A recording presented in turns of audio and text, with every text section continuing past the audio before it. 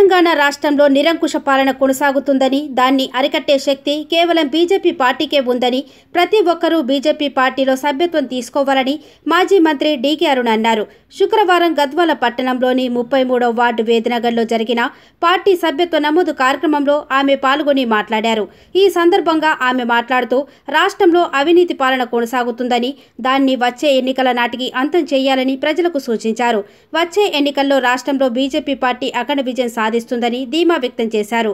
కుటుంబంలో ప్రతి ఒక్కరూ బీజేపీ పార్టీలో చేరితే మనకి మనుగడ ఉంటుందని ఆమె తెలిపారు. ఈ కార్యక్రమంలో గడ్డం కృష్ణారెడ్డి బీజేపీ జిల్లా అధ్యక్షులు శ్రీనివాసరెడ్డి పట్టణ అధ్యక్షుడు ఏ రవికుమార్ రాజశేఖర్ రెడ్డి చిలువేరి జగన్నాథం నందిని ప్రకాశం బంగి లక్ష్మణ్ రామలింగేశ్వర కాంబ్లే తదితరులు పాల్గొన్నారు.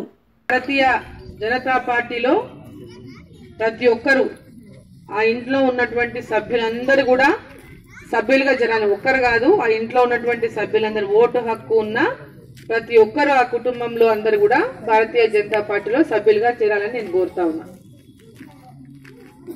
ఎందుకంటే ఈరోజు భారతీయ జనతా పార్టీ ఒక జాతీయ పార్టీ అయినటువంటి భారతీయ జనతా పార్టీ ఈ దేశం కోసం ఈ దేశ ప్రజల కోసం ఈ దేశ భద్రత కోసం ఈ దేశాన్ని ప్రపంచ దేశాల పక్కన